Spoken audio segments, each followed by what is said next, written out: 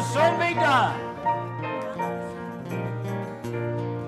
Some of these days I'm going.